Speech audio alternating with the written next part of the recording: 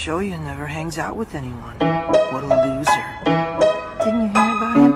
Everyone knows. You're a total freak.